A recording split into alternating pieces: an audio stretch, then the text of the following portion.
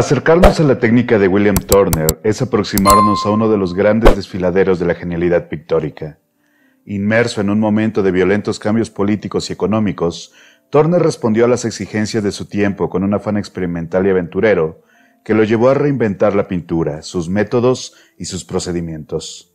Investigador incansable, su trabajo abarca prácticamente todas las áreas del arte bidimensional, dibujo, pintura, acuarela, grabado, en temas que van desde la más estricta tradicionalidad hasta las reflexiones sobre su tiempo, tanto en el medio del arte como en la vida cotidiana, dotada de una grandiosidad posible únicamente por la mano del pintor inglés, sin lugar a duda uno de los mejores, si no el mejor artista que ha dado la isla británica.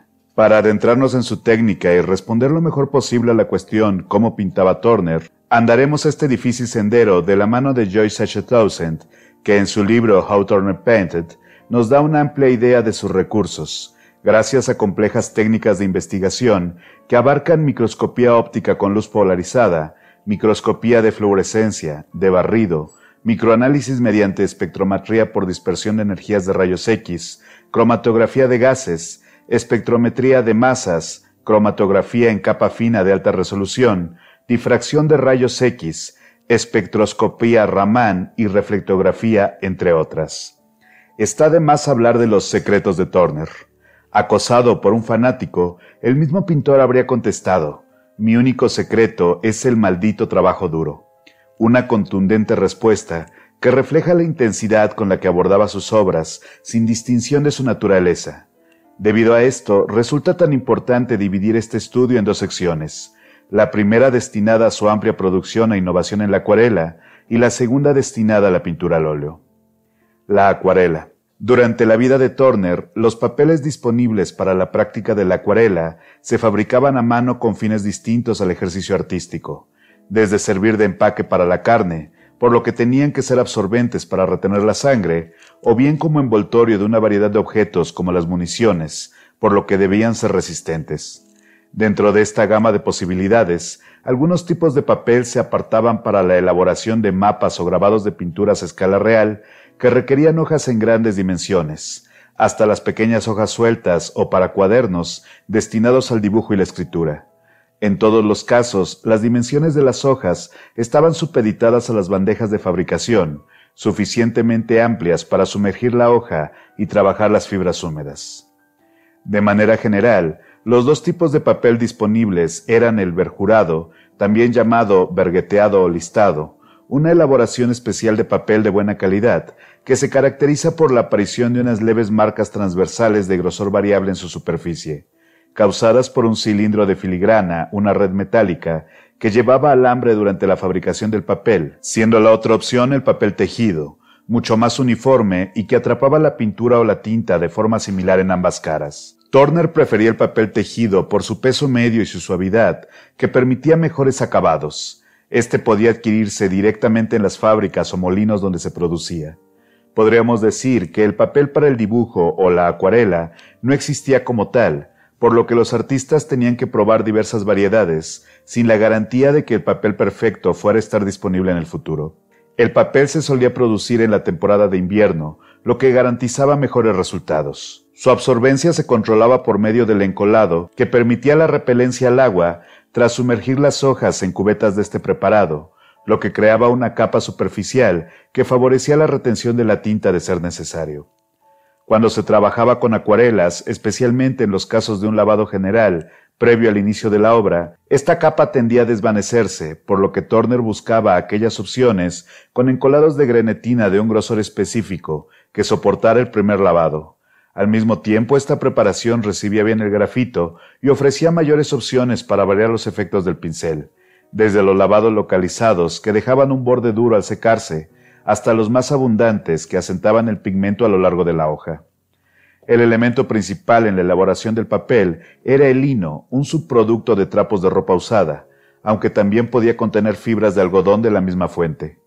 El papel más barato era de un tono blanco amarronado, mientras que el papel de alta calidad se producía exclusivamente con trapos blancos que recibían un tratamiento de blanqueado extra una vez constituida la hoja. En ambos casos, los papeles tienden a oscurecerse a medida que la luz y la suciedad ambiental impregnan la fibra. Al papel blanqueado de fábrica se le llamaba off-white o cream, mientras que el papel de segunda era conocido como buff. La mayoría de las cerca de 3.000 obras en papel de Turner que conserva la National Gallery están realizadas en papel blanqueado o ligeramente crema, el mismo tipo de papel que se puede hallar en su libreta de viaje, misma que encargaba sobre pedido a la fábrica seleccionando cada hoja. El papel solía llevar una marca de agua creada en la última etapa de elaboración, lo que permite identificar al fabricante.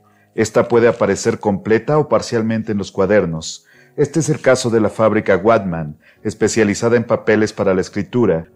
Uso del papel. Turner usualmente trabajaba con papel suelto, para lo cual cortaba los pliegos contra un borde recto en mitades, cuartos u octavos, por lo que un gran número de sus acuarelas están en formatos estandarizados y en muchos casos son parte de un mismo pliego. El tamaño del papel se contrae al humedecerse, por lo que no es raro que varíen por algunos milímetros.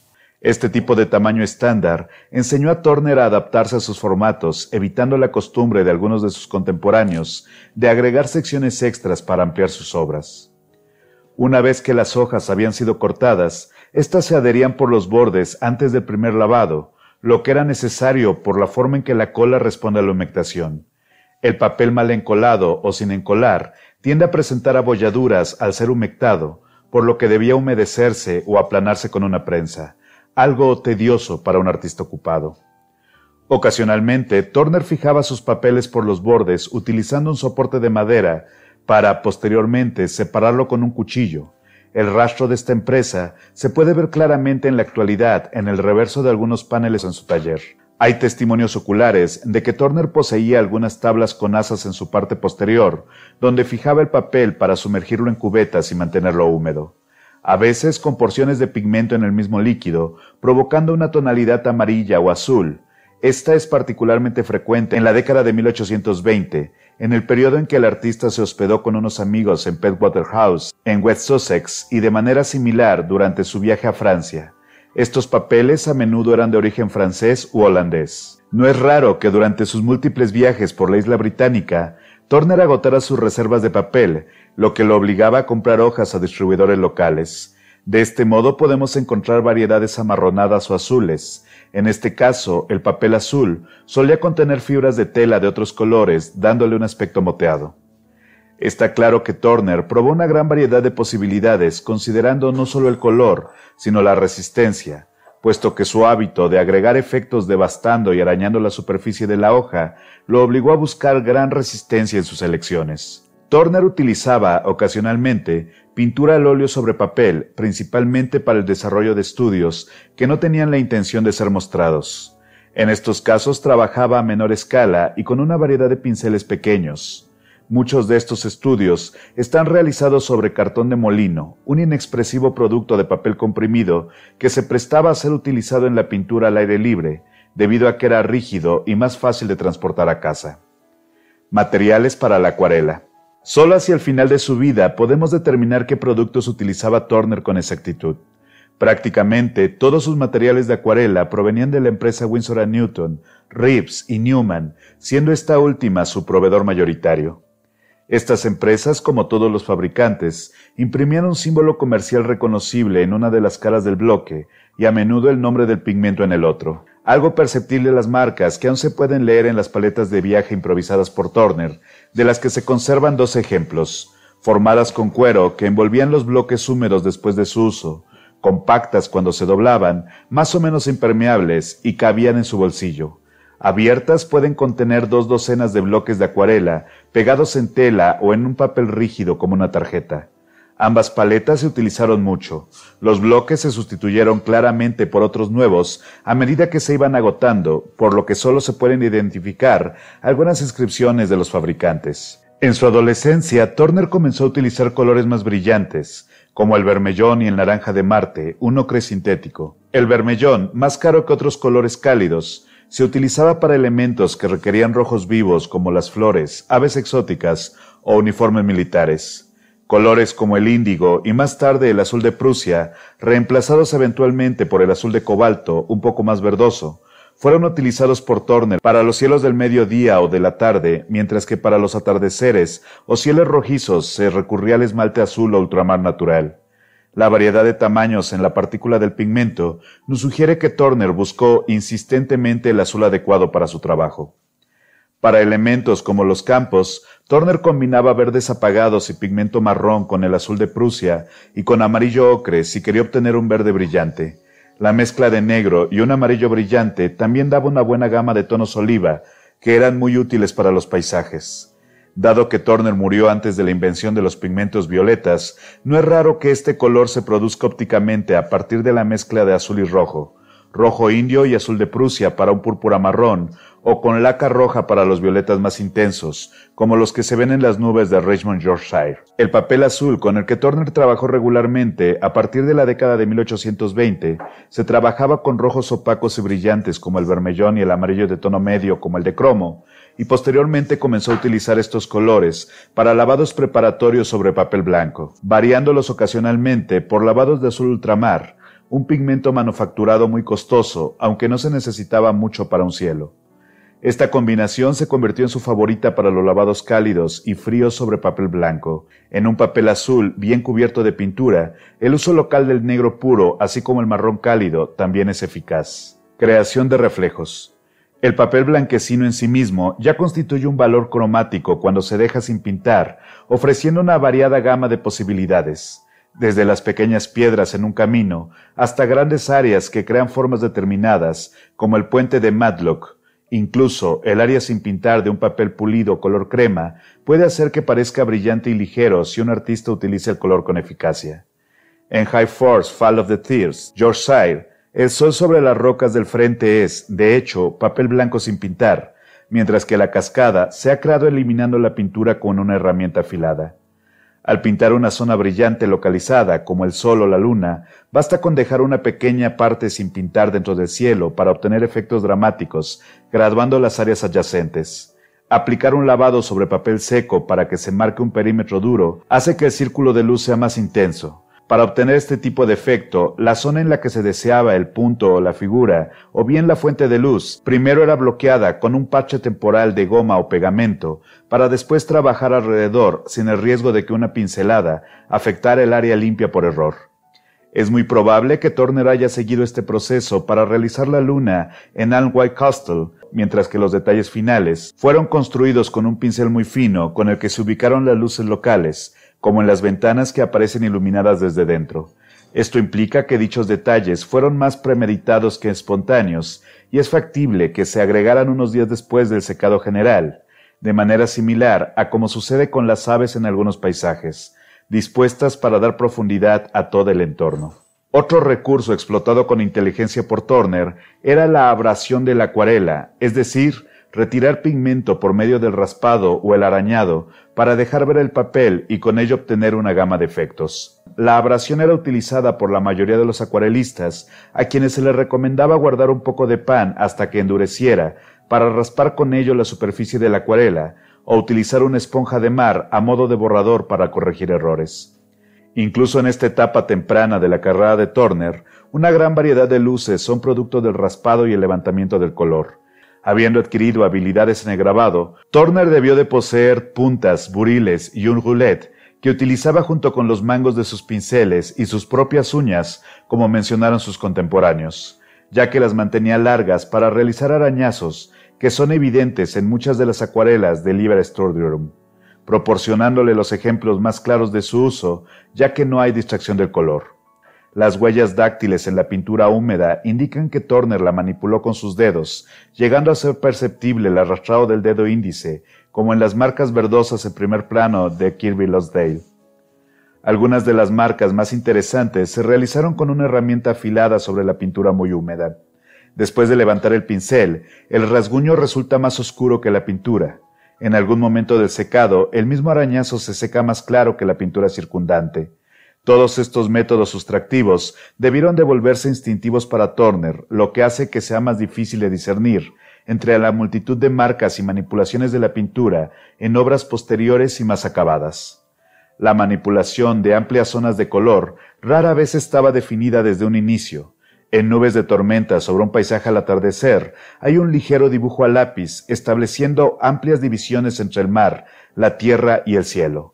Turner no siguió en absoluto estas líneas. Después de haber empapado el papel y aplicado un lavado horizontal de color, el papel se agitó para aumentar los efectos dramáticos dados por el movimiento espontáneo de las capas húmedas. En esta pieza, la evidencia de una manipulación dactilar salta a la vista, específicamente en la orilla cercana al agua. La arena se ha descrito con una aplicación de amarillo de cromo, un pigmento relativamente nuevo en la época. La vegetación se ha realizado con índigo y vermellón, y las zonas oscuras de las nubes son producto de múltiples lavados de color puro.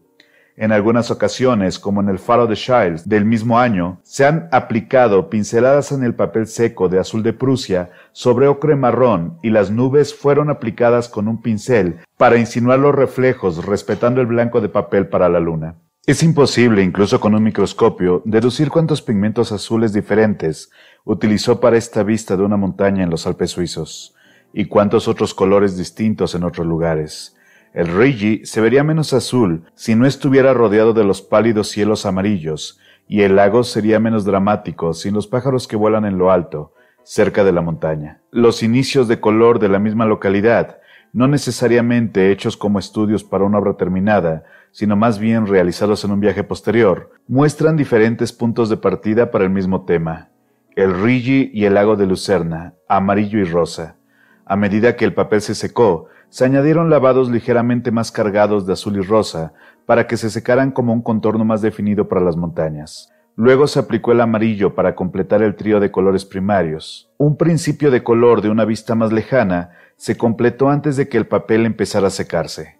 Cualquiera de estos podría haber sido el primer paso en la elaboración de la acuarela terminada, que incluye frotar y limpiar, incluso raspar, pero no con una herramienta tan afilada como una punta o una uña, así como pinceladas finas y una delicada manipulación de la pintura húmeda sobre el papel, parcialmente humedecido. Estos tres comienzos de color del Rigi habrían necesitado menos de un minuto cada uno. La acuarela terminada podría haberse realizado en una sola sesión de pintura, es decir, no más de dos horas de luz de día, pero podría no haber sido en el exterior o incluso en Suiza, mientras que los indicios del color se hicieron posiblemente in situ, pero más probablemente en el interior después de un día de intensa caminata. Uno puede imaginar el caos inicial, similar como el comienzo del color, para el estudio de The Loss of and His Indiaman, que muestra el casco en mal estado en una vorágine de olas y nubes oscuras, con la mayor parte del papel cubierto, pero no todas las pinceladas, que no tienen sentido para nadie más que para el propio Turner. Esto también tiene una gama tonal limitada que incluye el vermellón y laca carmín mezclado para las amenazantes nubes grises, así como el índigo, en un raro ejemplo sin recortar que muestra cómo el artista realizaba pruebas de color al mezclar sus pinturas. Óleos. Muchos críticos en la época de Turner se referían a él como un cocinero y a su pintura como producto de una cocina, eso sí, no en el término que actualmente entendemos como cocina de la pintura, sino despectivamente, para referirse a que sus obras, especialmente las más innovadoras, parecían una mezcla de mostaza y mayonesa que se hubiera caído al piso. Sin embargo, el pensar la obra de Turner como resultado de una cocina no es del todo incorrecta. La atención prestada por el pintor a la elección e innovación de los ingredientes de su pintura no está lejos de la elección de un maestro cocinero, dada la amplia gama de colores y la búsqueda constante de texturas, podríamos decir que el taller de Turner era una verdadera cocina de la pintura. Su viejo amigo Henry Trimer, quien visitó su taller después de su muerte, describió la paleta, al menos la que estaba en uso, pues poseía dos grandes y espléndidas, era una pieza casera de madera cuadrada, con un agujero para el pulgar. Moler los colores en una losa no era su práctica. Sus colores secos se frotaban en la paleta con óleo estirado en frío. Los colores se mezclaban y era muy exigente en cuanto a esta operación. Sus pinceles eran de los más humildes, sobre todo algunos de cerdo y otros planos. Se dice que usaba mangos muy cortos, como con los pinceles de acuarela, pero observé un pincel de mango muy largo. Según su ama de llaves, utilizaba el pincel largo para las jarcias de los barcos. Sin embargo, había una gran cantidad de brochas de pelo largo que no pudieron haber sido empleadas en su totalidad para el aparejo. También dijo que utilizaba pelo de camello, un tipo de pincel barato hecho de ardilla, algunos pinceles chinos. Había un frasco de cera derretida con rosa mosqueta y también con azul un frasco de barniz de alcohol y un preparado de alquitrán, tubos de Meglip, viejas vejigas de ámbar crudo y otras tierras oscuras de Newman. La descripción de Trimmer nos dice que el taller de Turner era una cocina particularmente bien surtida. Tan solo la caja de pinturas de Turner abarca más de 70 materiales visualmente distintos, y es muy probable que esta no fuera su paleta completa, en cuanto faltan los pigmentos blancos tan admirados por Roskin, que llegó a describir su uso del siguiente modo. Da una pizca de blanco puro para sus luces más altas, pero todos los otros blancos están perlados de gris o de oro. Turner utilizaba principalmente blanco de plomo, es decir, carbonato básico de plomo, aunque en distintos grados de pureza, lo que variaba el tamaño de la partícula y le permitía trabajar con sucesivos impastos, aprovechando el mordiente de la base, una propiedad deseable para incrementar la textura. Por lo general, el blanco se aplicaba puro y sin diluyentes. Al igual que los cocineros, Turner era creativo al combinar sus ingredientes, ajustando sus recetas para mejorar los resultados. Esto en una época, el siglo XIX, en que los productos eran menos uniformes, puesto que solían hacerse a mano y no con las estrictas condiciones industriales de hoy en día. A la par de estas inconsistencias de producción, muchos artistas elaboraban sus propios agregados a las pinturas, principalmente medios modificadores, ya fueran en forma líquida, gel o mezclando y calentando ingredientes caseros como el huevo o la cola animal, que se agregaban directamente al pigmento como material de carga y aglutinante. Joshua Reynolds había puesto de moda este tipo de experimentos para lograr pinturas más gruesas y empastadas, así como colores más intensos y sombras más brillantes, aunque para cuando Turner desarrolló su carrera, muchas de las obras de Reynolds ya se habían agrietado, oscurecido o incluso resquebrajado, revelando las capas inferiores, desprendiendo áreas completas del cuadro en forma de grumos sin que se supiera con certeza cuál de las múltiples recetas elegidas por el pintor era la más nociva a largo plazo y por ende cuál más duradera, así que el proceso de prueba y error resultaba vital, especialmente para un pintor viajero como Turner, que requería de medios bien dispuestos que no estorbaran la inspiración de la pincelada en un momento dado. Preparación de la base. Turner trabajaría en lienzos de lino clavados en bastidores fijos, por lo general horizontalmente, con los bordes de fijación sin imprimación de cola como en el resto de la tela. El lienzo también podía comprarse por rollo una vez que la imprimación se hubiera secado y se estiraba en el taller del artista clavándola en un bastidor con esquinas extensibles para ajustar la tensión del lienzo o en un marco de esquina fija que podía adquirirse a un carpintero quien, por lo general, tenía una serie de tamaños estandarizados a partir del siglo XVIII desde los pequeños formatos para retratos hasta formatos apaisados que utilizaban toda la anchura del telar. Lienzos aún más grandes requerían ser cosidos a partir de dos piezas antes de ser estirados e imprimados para ocultar la unión. Los grandes bastidores tenían travesaños y bloques de madera colocados en diagonal en las esquinas, a finales del siglo XVIII, colocados verticalmente desde principios del siglo siguiente.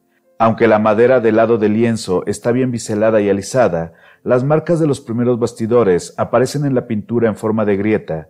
En los casos en que el lienzo no contara con un apresto de fábrica, se aplicaba una capa de aceite secante, lo que provocaba que oscureciera rápidamente, debido a la contaminación de Londres. En repetidas ocasiones se ha encontrado una imprimatura constituida de capas delgadas y sucesivas, ricas en tiza y plomo, que se lijaban para obtener superficies lisas o bien sin modificar, lo que favorecía el mordiente. En este caso, la segunda y tercera capa de imprimatura agregaban cada vez menos tiza, adicionando un poco de ocre marrón rojizo para obtener un tono ligeramente rosado. Esta terminó siendo el tipo de imprimatura más común en Inglaterra. La imprimación se hacía con pinturas sin rebajar o con muy poca cantidad de medio, con la intención de resultar más absorbente, algo que también era favorecido por el lijado por parte del fabricante. En caso de requerir una imprimatura más oscura, era necesario agregar una capa extra, aunque Turner rara vez hizo uso de esta segunda capa, puesto que prefería las imprimaciones blanquecinas o ligeramente rosadas.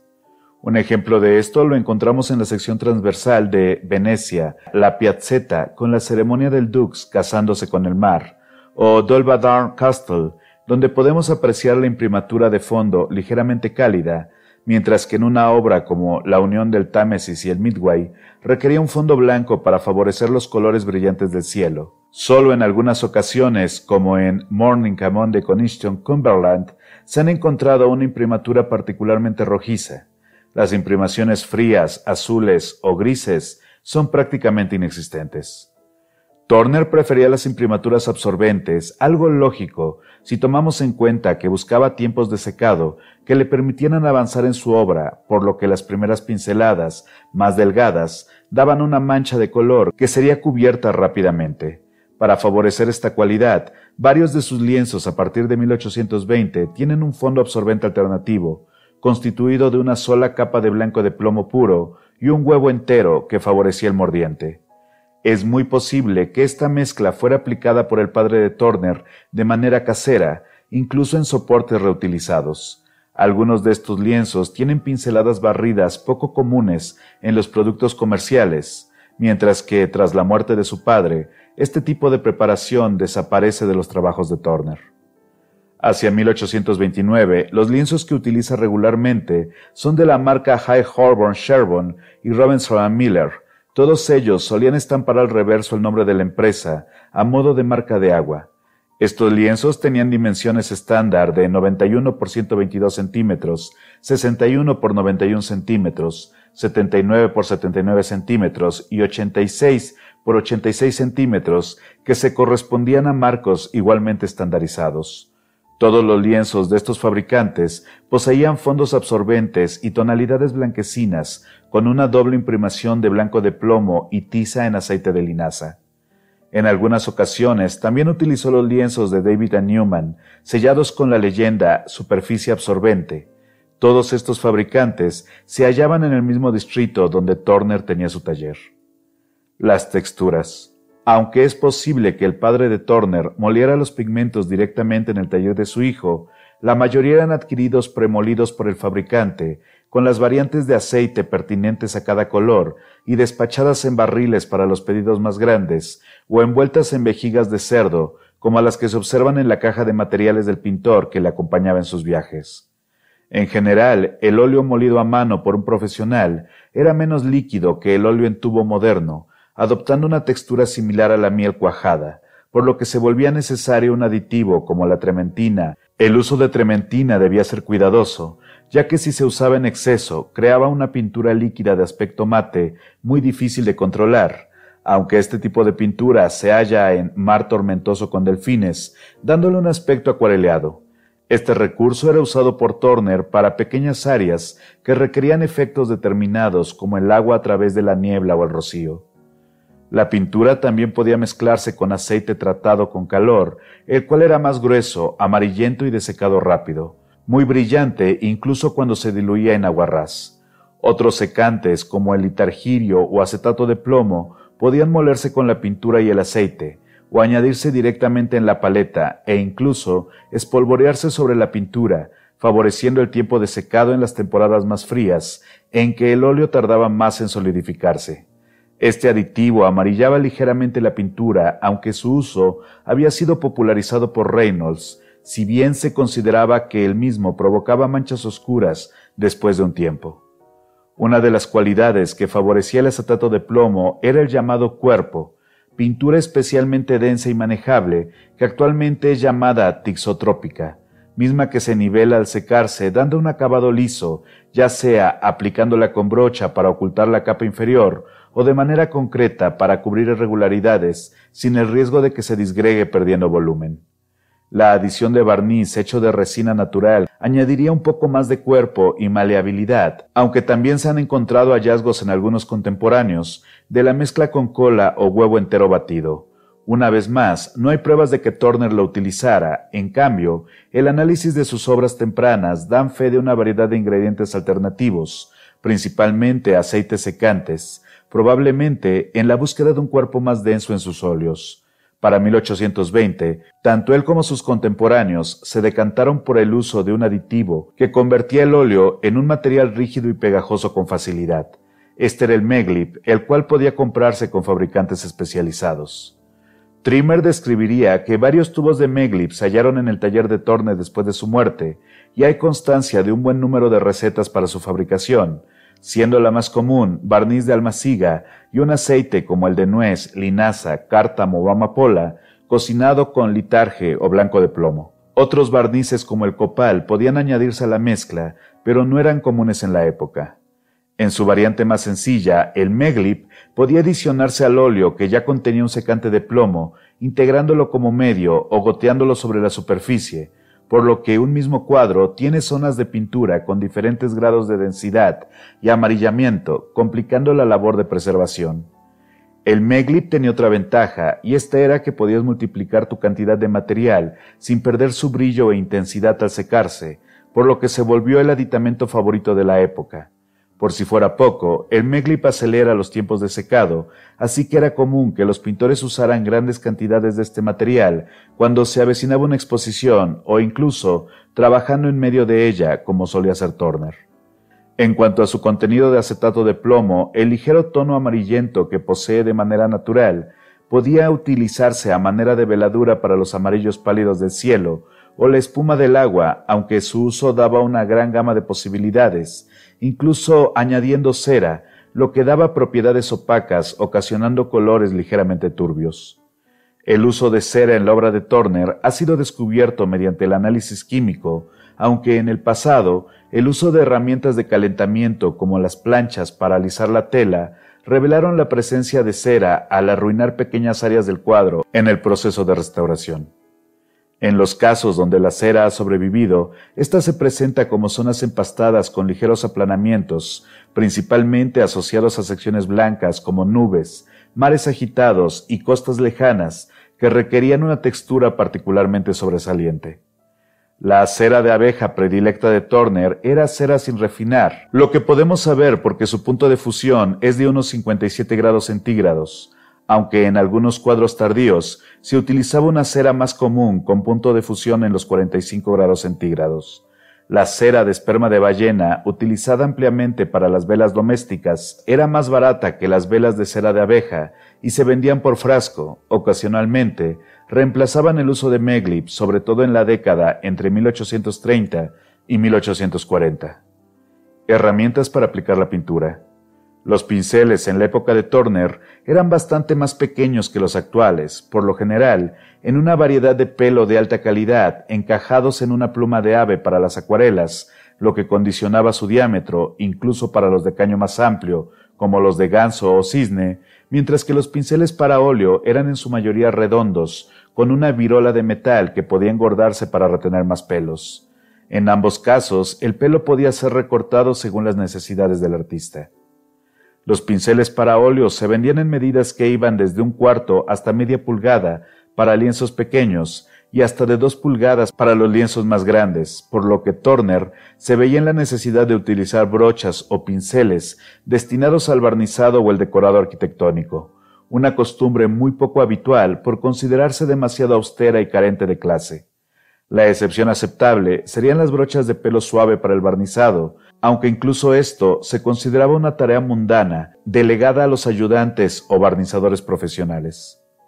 El pelo largo y suave se utilizaba principalmente para la pintura fluida con meglip, mientras que las cerdas cortas y rígidas, por lo general de cerdo, se destinaban a la pintura al óleo pura.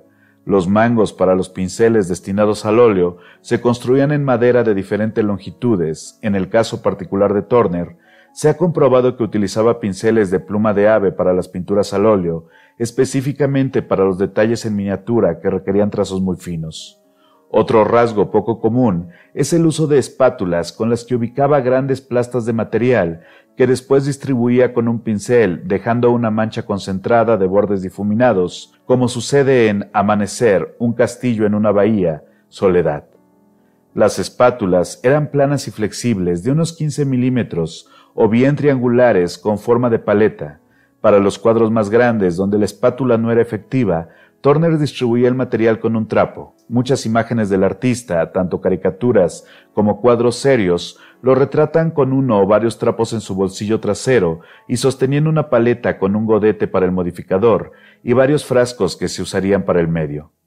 El uso del trapo por parte de Turner facilitaba una especie de veladura particularmente densa, como sucede en Soledad, dando efectos diversos, a veces incrementados por la trementina, con la que empapaba la tela, pasándola por la superficie para borronear una capa más o menos fresca y recogiendo una gran cantidad de pigmento, dando como resultado capas de pintura muy fina o gruesa según la presión ejercida.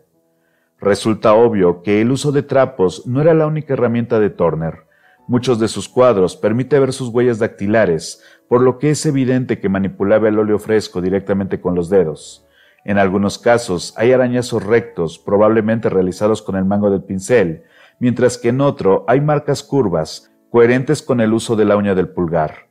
Incluso es posible diferenciar los arañazos realizados con la mano izquierda, más arbitrarios y automáticos, y con la derecha, lo que implicaba dejar los pinceles y los trapos para concentrarse en un área determinada.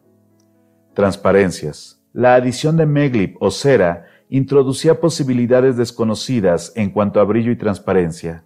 Algunas sombras doradas se podían crear con el meglip en estado puro, sin pintura, funcionando como una especie de esmalte amarillento, ideal para la representación de la arena húmeda.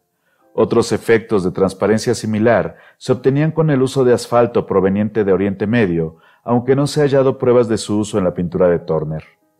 La cera también está presente en los mares agitados, agregando un poco de pigmento para preservar las transparencias habituales en estas composiciones, pero no se puede decir que ninguno sea un recurso constante, puesto que solía variar el material de una pincelada a otra, lo que generaba una intensa variedad de texturas, aunque peligrosas al momento de resistir el paso del tiempo. Modificadores del medio. En un inicio, Turner utilizaba las recetas más simples y sencillas de la pintura de su época, con muy buenos resultados, como en Moonlight, A Study in Milliblanc, inusualmente pequeña y realizada completamente con pinceles de pluma, como si se tratara de una acuarela, extendiendo pintura diluida para realizar los detalles, como los reflejos y las líneas de espuma, la cual podemos contrastar con la apertura del Walhalla de 1843, donde la pintura es más gruesa en los personajes de primer plano, mientras que la ladera del Walhalla está constituido por una gruesa costra de pintura blanca, al igual que la iglesia. En ambos casos hay cera de esperma de ballena. El cielo, que cubre casi la mitad del cuadro, fue distribuido con trementina de manera irregular, mezclando con grandes cantidades de amarillo de cromo y azul de cobalto para ilustrar la luz matinal. La niebla está realizada con finas capas de pintura a base de cera de abeja en tonos rosas y azules pálidos, incorporando lacas rojas y azul ultramar natural. En la misma composición, los detalles de los personajes han sido realizados con aplicaciones localizadas con vermellón, amarillo de cromo, naranja de cromo, verde esmeralda, viridian y azul de Prusia.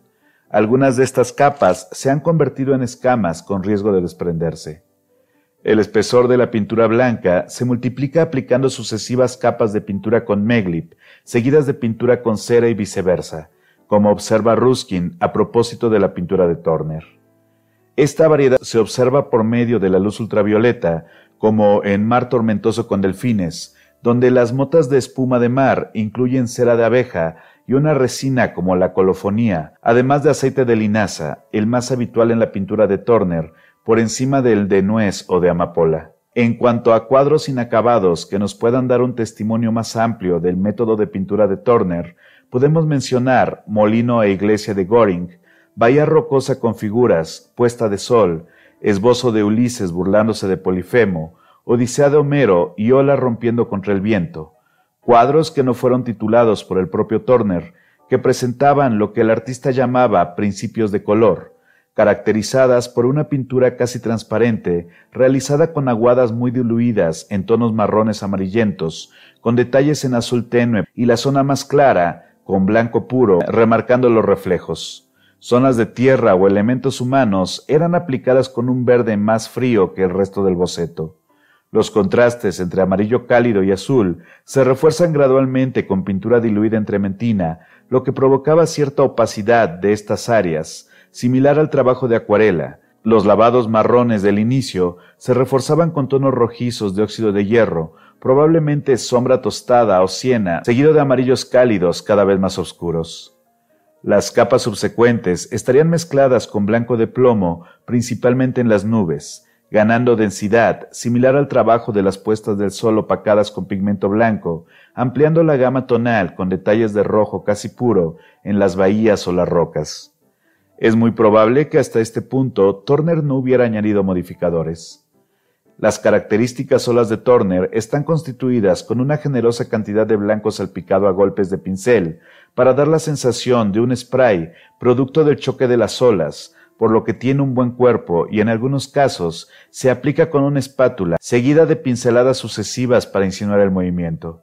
En el caso de Polifemo hay evidencia de laca carmín con blanco en la zona del atardecer y en el borde derecho señalando la puesta del sol. The New Moon presenta un contraste de zonas translúcidas con el impasto de la ciudad al fondo, equilibrando colores cálidos y fríos.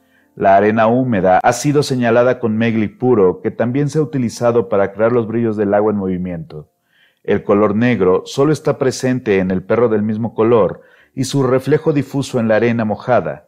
La radiografía muestra claramente el empaste de plomo blanco para el cielo y la ciudad, marcando que el progreso en la obra condicionaba la cantidad de blanco sobrepuesto, aunque es muy probable que el propio Turner eliminara capas completas con el trapo antes de seguir hasta la pintura terminada, un concepto que, por otro lado, es muy difícil de definir en su obra. Pinturas como los cuadros del puerto de Dieppe o la llegada de un barco de carga, Atardecer, se consideraban terminadas en la época de Turner, pero el compromiso del artista con la experimentación llegó a causarle problemas en el gusto de la crítica, a pesar de que, en la actualidad, el enfoque atrevido y en ocasiones casi abstracto de algunas de sus obras es mucho más valorado por un público que haya un mayor realismo en este tipo de pinturas, como ejemplifica Tormenta de Nieve o El último viaje del temerario, cuya popularidad y convocatoria en el periodo de la Segunda Guerra Mundial constituyó un verdadero fenómeno viral.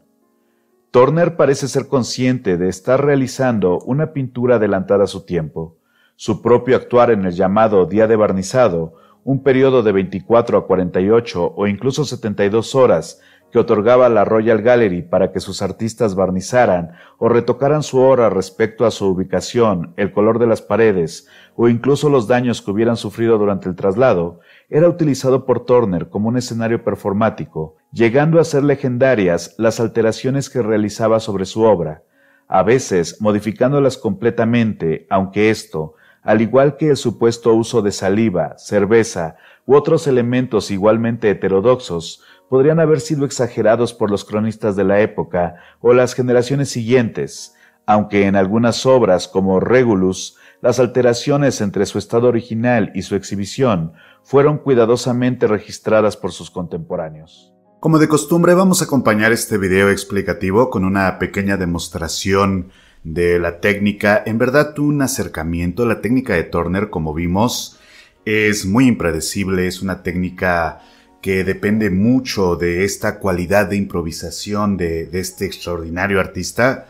Así que vamos a aproximarnos con toda la humildad, con la cabeza muy abajo para explicar un poco cuál sería un procedimiento aproximado de este tipo de pintura. Insisto, es una aproximación porque pues, realmente la pintura de Turner es incomparable, es, es algo extraordinario. Si ustedes tienen oportunidad de ver un Turner en vivo alguna vez, es maravilloso. En cualquier caso, vamos a trabajar sobre un lienzo de lino ya saben que si no pueden conseguir el lino, porque a veces es un poco caro, un poco costoso, pues pueden utilizar una loneta gruesa, preferentemente que tenga textura.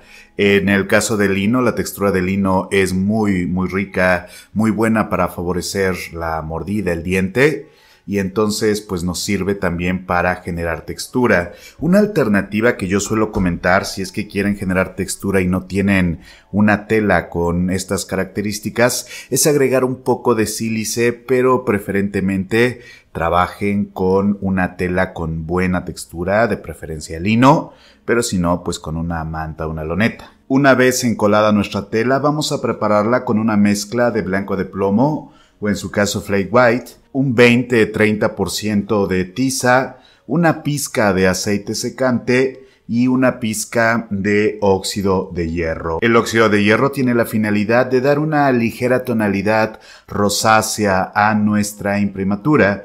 Ustedes sabrán que actualmente este tipo de imprimaturas ya casi no se utilizan. La razón es que son muy inestables, suelen craquelarse con mucha facilidad, pero a finales del siglo XIX en Inglaterra eran muy populares. Así que lo vamos a hacer de este modo, solo que hay que tomar en cuenta que prácticamente ya no se preparan lienzos así por las razones que hemos mencionado. A veces incluso se agregaba un poco de litargio a la mezcla, lo cual también favorecía algunos problemas, sin embargo daba tonos muy agradables para empezar a trabajar. También por su naturaleza, este tipo de soporte es muy absorbente. Ya que tenemos nuestra mezcla, vamos a esparcirla a lo largo de nuestro lienzo con una espátula, pero con la suficiente presión para que no se pierda la textura de nuestra tela. Es decir, vamos a trabajar tanto con las características que nos da la mezcla como las características que preserva a partir de la presión que se ejerce sobre el lienzo. Esto lo haremos a todo lo ancho de la tela, a todo lo largo, una imprimatura completa. Recuerden que para que una imprimatura se pueda llamar así tiene que estar en toda la superficie y lo dejaremos secar al menos durante una semana. Ya que tenemos nuestro soporte perfectamente seco, notarán que el color rosado se habrá acentuado en la superficie y sobre ello vamos a hacer el trazo esquemático de lo que vamos a pintar. En este caso yo voy a hacer una pequeña copia del entierro sobre el mar, para lo cual vamos a trazar líneas esquemáticas de lo que será nuestra imagen. Estas líneas las pueden hacer ya sea con carbón o preferentemente con un pincel fino y un poco de sombra diluida. Para esta técnica vamos a trabajar tanto con pinceles redondos como con pinceles planos, preferentemente de cerda rígida y semirrígida. El pelo de cerdo nos va a ser de mucha utilidad para que nos deje un rastro de la pintura y nos ayude a acentuar las texturas características de este tipo de obra. Yo recomiendo tener una variedad amplia de pinceles y dependiendo qué es lo que queremos realizar es que vamos a trabajar con uno u otro. Pinceles finos para los detalles, pinceles tal vez más anchos para las áreas más amplias, aunque como este es un formato muy pequeño, es de 30 por 30, pues nuestro pincel más grande va a ser del número 12 más o menos. Ya que tenemos preparado nuestro soporte y listo nuestros pinceles, vamos a poner una buena cantidad de trementina o incluso un poco de aceite secante para crear nuestra primera capa de color. Esta capa va a ser de color amarillento, ya sea siena natural o bien amarillo ocre. La idea es dar una entonación primaria sobre la que se va a desarrollar nuestra pieza. Esta capa se va a extender a lo largo de todo nuestro lienzo de una manera desordenada, cuidando que no sea tan gruesa, simplemente dando esa sensación cromática del amarillo sobre el que vamos a trabajar en los pasos siguientes. Si ustedes quieren pueden distribuir esta primera capa con un trapo o bien golpetear un poco para sacar el exceso de trementina o de aceite. Seguidamente vamos a dejar que se seque un poco, no tanto, necesitamos que quede todavía un poco mordiente y vamos a trazar con un color oscuro que puede ser sombra natural, tostada o en mi caso pardo de Van Dyke. Este va a servir para empezar a trazar nuestro dibujo de las áreas más definidas de la pieza. En el caso de esta pintura, lo que son la forma de los barcos, algunas sombras que se encuentran en el agua y algunas áreas oscuras en la parte superior. No tiene que ser tan definido, es decir, no tiene que quedar a la primera perfectamente comprensible, pero sí requerimos que nos vaya indicando dónde van a estar las áreas más bajas para no perderlas en el proceso. Ya que hemos realizado este diagrama, con un trapo vamos a borronear las formas para que no queden excesivamente definidas. Los trapos que yo recomiendo son trapos con cierta textura, preferentemente no de estos microporo que se venden actualmente, sino sobre todo tejidos para que arrastren una cantidad de pintura pero no la absorban. Con esta vamos a presionar eh, con una fuerza media, digamos, para perder las formas y que se integren en el todo que tenemos dentro de nuestra pieza. no tanto en las formas más definidas, lo que hemos dicho los barcos, pero sí en las áreas inferiores y superiores que finalmente van a corresponderse al mar y las nubes. Ya que están definidas las formas principales, vamos a dar una nueva veladura de amarillo, en esta ocasión un poquito más espeso para que nos dé un valor tonal un poco más evidente. Si de repente tenemos algunos fallos de dibujo, por ejemplo, que se nos pasó una zona oscura o alguna cuestión así, este es el momento perfecto para corregirlo y de nueva cuenta con el trapo borroneamos para que se integre de una manera más orgánica, que no se vean tanto las pinceladas, sino estos movimientos azarosos de esta técnica. Posteriormente vamos a tomar un pincel de cerda rígida y una buena carga de blanco de plomo o tono blanco de plomo o incluso blanco de titanio el que tengan a la mano y empezaremos a señalar los motivos más altos.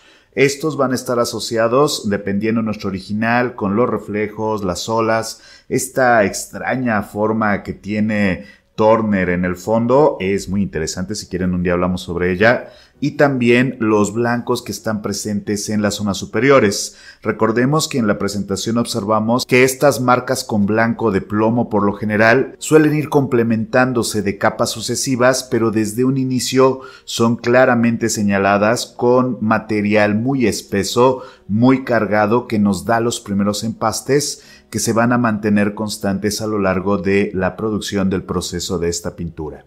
Incluso esta primera capa de blanco se podría ubicar directamente con espátula y borronearla con un pincel o con el mismo trapo para difuminar los bordes, pero esto ya es una decisión de su propio ejercicio. Ya que hemos terminado esta zona de blanco, vamos a trabajar con unas señales a partir del azul cobalto.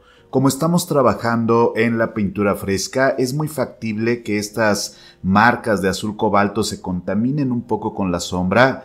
Realmente como estamos trabajando con capas muy delgadas, también puede ser que ya se haya secado, pero en cualquier situación no es tan tan tan relevante porque solo vamos a estar intercalando los planos, los más cálidos, los más fríos, señalizando la gama cromática que va a dominar en nuestra pieza.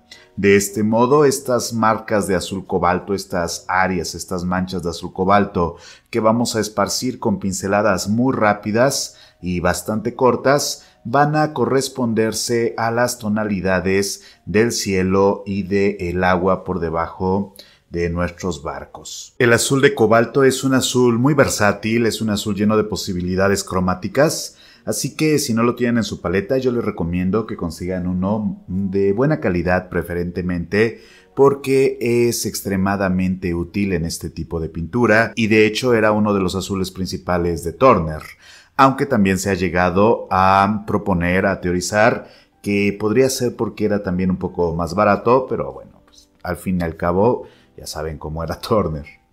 Ya que hemos terminado con los azules, vamos a insistir una vez más con el blanco. Recordemos que esto se va a repetir constantemente blanco sobre blanco para que nos dé una buena textura y con nuestro pincel de cerda rígida, un pincel redondo, vamos a dar estas marcas asociadas a los brillos principales en las nubes, las zonas blancas en la parte intermedia, los brillos en el agua y también en la zona donde se observa este fogonazo en medio de los barcos que después tendrá nuestros detalles cálidos. Pero por el momento Ampliamos estas zonas blancas, rematamos, definimos, concentramos para que sean las luces más altas y empiecen a dar un poco de profundidad asociada a nuestra escena. Si lo consideramos necesario, fundimos estas marcas con el trapo solo un poco que se pierdan los límites para que se vuelva un todo vaporoso pero con mucho cuidado de no contaminar de manera excesiva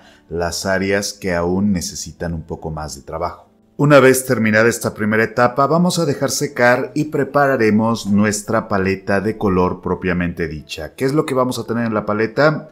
Vamos a tener un poco de pardo de Van Dyke o sombras, el azul de cobalto, un poco de laca carmín permanente y, como no, nuestro blanco de plomo, tono de plomo o de titanio. Aunque en el caso de Turner suele utilizar otros colores, podríamos utilizar, por ejemplo, amarillo de cromo, que era un tono muy innovador, un pigmento muy innovador. En este caso nos vamos a limitar únicamente a estos colores por la gama cromática presente en nuestra pieza. A partir de esta paleta vamos a hacer un tono violáceo consistente en la mezcla de carmín con el azul de cobalto. Este tono es muy recurrente en los primeros pasos de la pintura de Turner y se maneja en las áreas frías principalmente para definir la línea de horizonte y crear la sensación de bruma a través de la cual se observa el mar o algunas estructuras sólidas. Principalmente este violeta estaba en la paleta de Turner al no tener acceso el artista a pigmentos violeta propiamente dichos, por lo que la mayoría de veces que este tono aparece en nuestras piezas es producto de esta combinación. También en este punto, ya que ha secado nuestra primera capa, redefinimos el dibujo alrededor de los elementos principales, los elementos más reconocibles. Claramente nuestra copia, aquellas áreas referentes a las siluetas de los barcos, con un pincel muy fino, en el caso de Turner trabajaría con un pincel de acuarela, nosotros podemos trabajar con un pincel del cero más allá, 5 ceros, 10 ceros, detallando con mucho cuidado las formas para no perderlas en la siguiente parte del proceso. Este detalle se va a realizar con nuestro color más bajo, el pardo de Van Dyke, aunque pueden agregar una pizca de negro si es que quieren una tonalidad más baja y que empiece a adquirir volumen, adquirir esta gravita tan particular, pero yo les recomiendo que lo manejen únicamente en los tonos pardos que hemos estado trabajando hasta este punto. También con este mismo color vamos a reafirmar las zonas más oscuras, principalmente las que están en la parte inferior de nuestra pieza, en cuanto que el agua se ve oscura, no es un agua cristalina y luminosa, sino que tiende a estas tonalidades pardas que reafirmaremos con pinceladas muy amplias a lo largo de toda la zona inferior. Si consideran que es necesario reafirmar las figuras, se hace en este mismo paso para que obtengan mayor peso, mayor presencia, confrontadas a las otras zonas oscuras. En la parte superior también vamos a aplicar una película muy fina, de nuestro color oscuro, de nuestra sombra, pero en este caso la pincelada no va a ser tan presente puesto que no tenemos que crear la sensación de la marea ligera que subyace en la parte inferior, sino que lo haremos haciendo una pincelada circular y ya que hayamos terminado con esta reafirmación de las zonas oscuras, ahora sí vamos a acudir a nuestro color violáceo que habíamos hecho hace un momento. ¿Qué es lo que vamos a hacer? Con este color vamos a dar la sensación de sombra principalmente dentro de las nubes, que es el área donde no está golpeando la luz. Puesto que hemos oscurecido levemente la línea de horizonte, vamos a difuminar con este violeta este límite entre el mar y las nubes para que nos dé la profundidad asociada y también el efecto de iluminación que se va a extender prácticamente a toda la zona transversal de nuestra composición, no de una manera regular, sino precisamente dejando que se filtre de manera accidental y golpeteando con el trapo para crear efectos y para crear difuminaciones mucho más azarosas de lo que podrían ser con un pincel. Ya que hemos terminado con nuestros tonos violetas, toca reforzar los tonos azules, con azul de cobalto. En este caso voy a agregarle una pizca de amarillo de cadmio para crear un tono ligeramente verdoso, muy poco realmente, y con ello vamos a dar una veladura general al cielo, respetando únicamente las zonas de las nubes donde hay un blanco más eh, presente. Esto es muy relativo. En el caso de la pintura de Turner, estos, estas veladuras que hemos mencionado en la presentación son muy intuitivas, no parecen obedecer a una planeación estricta, sino que se van desarrollando a partir de las necesidades del propio pintor. Vale la pena señalar que para hacer el efecto más fluido, utilizamos nuestro trapo para hacer que la pintura se distribuya de manera más azarosa y también con esta mezcla de azul y una pizca de amarillo vamos a reafirmar los verdes del agua. En este caso yo he agregado un poquito más de amarillo precisamente para que nos dé este tono y con el mismo trapo hacemos que la pintura se integre a estas distintas capas que van creciendo en complejidad a medida que avanzamos. Ya que hemos concluido esta capa, toca reafirmar la zona de las nubes aplicando golpes de blanco sobre las áreas previamente señaladas En este caso el blanco ha sido ligeramente contaminado por el azul de cobalto, pero solo lo suficiente para dar esta cualidad cromática fría que se integra junto con nuestra capa previa. Para esto golpeteamos rápidamente con un pincel redondo, presionamos donde queremos que haya un poco más de concentración del pigmento y distribuimos los bordes fundiéndolos con las capas inferiores. En el caso de requerir luces todavía más marcadas, blancos puros correspondientes a las nubes, tomamos una buena carga de material y la aplicamos sin temor y la aplicamos sin miedo sobre nuestras luces principales. Las nubes tienen que ser brillantes, tienen que estar dando esa sensación de que son iluminadas por el rayo del sol y a partir de ello se crea el contraste con la oscuridad inferior. Así que tomamos nuestro blanco y aplicamos con el pincel, distribuimos en los bordes y claro, como no, con el mismo trapo obligamos a que se fundan estos bordes integrándose en esa sensación nebulosa. En el caso de requerir el efecto de transparencia de la niebla en la parte media de nuestra pieza, vamos a trabajar con veladuras de blanco con una pizca de trementina únicamente para dar esa transparencia grisácea característica de las marinas de Turner, aunque a estas alturas ya sería posible trabajar las veladuras con un poco de aceite secante, pero con mucho cuidado de no contaminar las áreas oscuras correspondientes a los barcos, al humo y también de preservar el tono violáceo que es subyacente a esta nueva capa. Es una capita muy muy muy muy delgada que nos va a dejar ver toda la riqueza tonal de los pasos previos a este punto. En este momento sería prudente reforzar nuestro dibujo antes de avanzar más para efectos de que no tengamos que colorear oscuro sobre claro. Siempre hay que preservar la premisa de que los colores oscuros, al ser más delgados, tienen una densidad muy distinta a nuestras áreas más empastadas, a nuestras áreas más claras, más blancas, más altas. Y a partir de ello, reafirmamos con nuestra sombra, tal vez con un toque de negro, de azul, para que tengan una presencia dentro del contraste que se da con las nubes e inmediatamente después decoramos este entorno con blanco puro para que el contraste saque nuestra imagen y le dé esa presencia característica.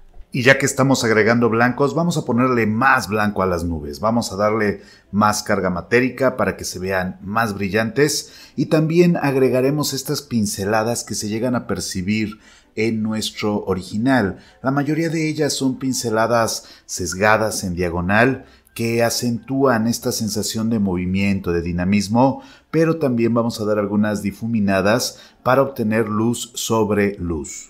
Supongo que a estas alturas ya estarán un poco hartos, pero necesitamos ubicar una nueva veladura de nuestro azul de cobalto con este toque de amarillo sobre la zona del mar. Hemos trabajado ampliamente el cielo, pero descuidamos un poco nuestra zona inferior, así que vamos a reforzar nuestros tonos verdosos del mar antes de meter luces también en esta área y poder integrar la parte inferior con la parte superior de tal modo que se fundan en el horizonte. Recuerden, para dar profundidad a este tipo de imágenes es necesario que si bien la zona intermedia, la línea de horizonte sea perceptible, esta no sea clara, de tal modo que la coincidencia de la niebla, de la distancia, de los brillos, vayan a ser un todo central, que es lo que da esta característica profundidad a nuestra pieza.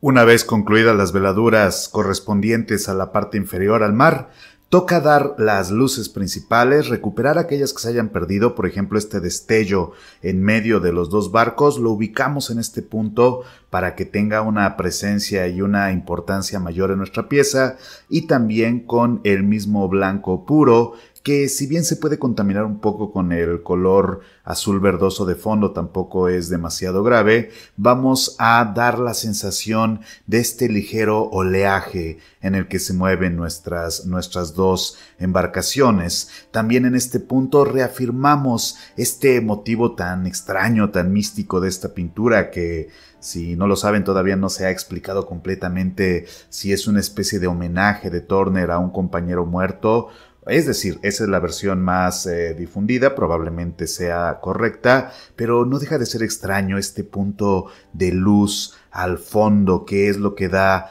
tanta gravedad a esta composición. Vamos a aplicarlo con golpes de blanco puro, ligeramente difuminado, pero bien denso para que la carga cree esta, este destello tan fantasmal en el fondo.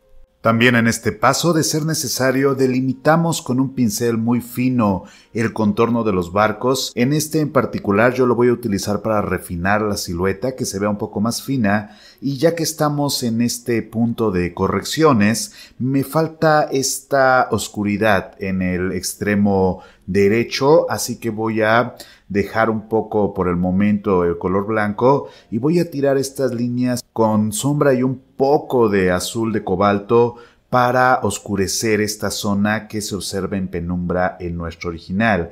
La pincelada es de arriba hacia abajo precisamente para integrar este movimiento en la zona del horizonte y que podamos fundirlo ya sea con los dedos o con un trapo, recordando que Turner era muy propenso a este tipo de ejercicio. A partir de este punto dejamos secar una vez más nuestra pieza y ya que esté seca nos preparamos para dar veladuras de blanco en la zona del cielo.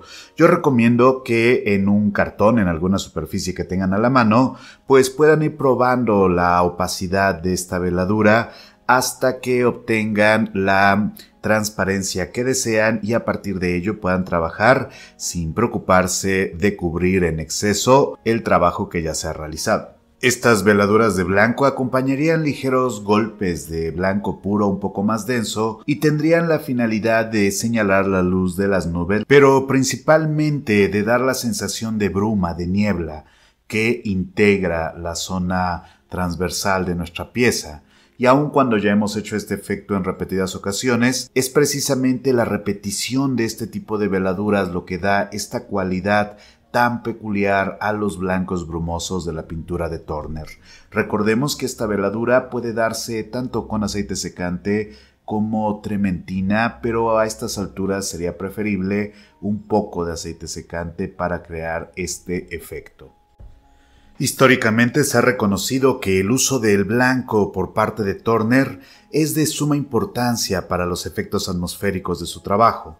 Una vez que terminemos con esta capa de veladura, damos golpes de pincel. Recordemos que estos originalmente estarían asociados con una mezcla de cera o de esperma de ballena. Como dato, el esperma de ballena no es esperma de ballena, sino esta como grasa, manteca que hay en los cachalotes, en la cabeza y en varias partes del cuerpo. Se nos pasó decirlo, pero lo decimos ahorita. Y que es la que va a dar el acabado final tan pastoso, tan espectacular en las capas superficiales de nuestra pintura, lo cual también ya nos dice que estamos cerca de terminar, ya casi terminamos. Estas cargas finales pueden ser aplicadas también con espátulas si es que queremos mayor densidad y mayores efectos, o bien incluso con los dedos. Ya saben que Turner era ese tipo de pintor. Concluido el cielo, ahora vamos a trabajar en la zona del agua que tenemos un poco descuidada, dando una serie de pinceladas con la misma premisa que hicimos hace un momento, creando una mezcla densa de blanco de plomo, de titanio o flake white, con un toque de azul cobalto y un toque de amarillo para que nos dé este grisáceo verdoso de la zona inferior del agua, que también tiene que ver con los reflejos. Vamos a aplicarlo en capas un poco más gruesas que las del cielo, es decir, más que una veladura, es una capa de transparencia por falta de material y con un pincel rígido la esparcimos en las zonas más iluminadas, respetando algunas zonas más oscuras para que nos dé la sensación de la marea que se mueve muy suavemente. Si es necesario, esparcimos esta capa con el trapo para que no quede tan eh, dura, tan eh, establecida y con ella también definimos los reflejos en el agua. Si es necesario, podemos acentuar dichos reflejos con golpes de blanco puro. A partir de este punto, los siguientes pasos serán detallar nuestra pieza. Si necesitamos dar algunos golpes con nuestro color más bajo para acentuar el dibujo. Siempre que nos mantengamos en los límites de las siluetas que hemos trazado, no debe de haber tanto problema. También en este punto vamos a eh, marcar los destellos rojizos que hay en medio de los dos buques, tal vez definir un poco esa vela que se ha perdido por el trabajo tan agresivo con los trapos, con estos pinceles gruesos y, como no, una vez más, luces, siempre necesitamos más luces más densas en este tipo de pintura y también, como hemos visto en nuestra presentación, algunos detalles muy sutiles, como las pequeñas tizas que salen ardiendo de la chimenea, las ubicamos en esta parte, las pequeñas ventanas del buque que en este caso apenas van a ser unas señales muy, muy, muy, muy débiles, y los destellos alrededor que definen las formas. Esto ya vendría a ser prácticamente una capa de detalles. Yo considero que faltan algunas luces de reflejo en el agua, así que voy a dar unos golpecitos finales, combinando tanto nuestro azul grisáceo verdoso con un poco de blanco puro para darle más riqueza tonal a nuestra pieza. Y ya finalmente, una vez que esta capa esté seca, podemos darle una capa de glassing, una veladura final para integrar todo. Yo le voy a dar una ligeramente verdosa. Esto es completamente opcional si ustedes piensan que luce mejor sin esta capa general. Es bastante válido. En el caso de la imagen en la que yo me basé, es una tonalidad amarillenta generalizada que en algunas, eh, pues en algunas imágenes que uno puede encontrar no aparece, se ven los colores mucho más vivos, los blancos más blancos, los azules más azules, pero yo me voy a decantar por esta versión con este filtro un poco amarillento que hace que se vea tal vez eh, más tradicional, tal vez es una percepción personal, en cualquier caso, este sería una aproximación al proceso de Turner. Insisto, como en todos los casos de estos videos, es una copia muy burda, muy pobre solo para ilustrar eh, cómo sería un poco el proceso. Eh, la obra de Turner es infinitamente más compleja que esto, evidentemente, pero ustedes pueden utilizar este principio para hacer sus propios paisajes, sus propias marinas, sus propios cuadros mitológicos. Es una técnica tremendamente bella, les digo, esto es muy, muy inferior pero como siempre lo comento, estoy seguro que en sus casas les va a quedar mucho mejor que a mí.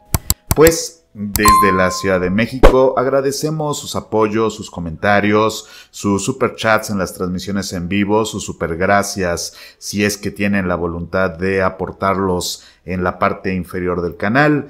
También les recordamos que tenemos talleres presenciales en la Ciudad de México, talleres online para cualquier parte del mundo. Próximamente vamos a vender algunos talleres específicamente hechos para esto manténganse al pendiente de las novedades. Vamos a abrir un nuevo taller en la, en la zona centro de la Ciudad de México a partir de julio, así que si quieren tener un taller un poco más amplio que lo que puede aportar un video de poco más de una hora, pues ahí podemos vernos. Tenemos publicidad en el Instagram, aquí mismo, en algunas tiendas de arte. De cualquier modo, pues les decía, soy el doctor Francisco Soriano. Francisco Soriano, no se compliquen manténganse extraordinarios. Les mando un abrazo, un saludo. Felices pinceladas, diría Bob Rose o algo así, no me acuerdo. Y nos vemos muy pronto. Hasta luego a todos. Bye bye.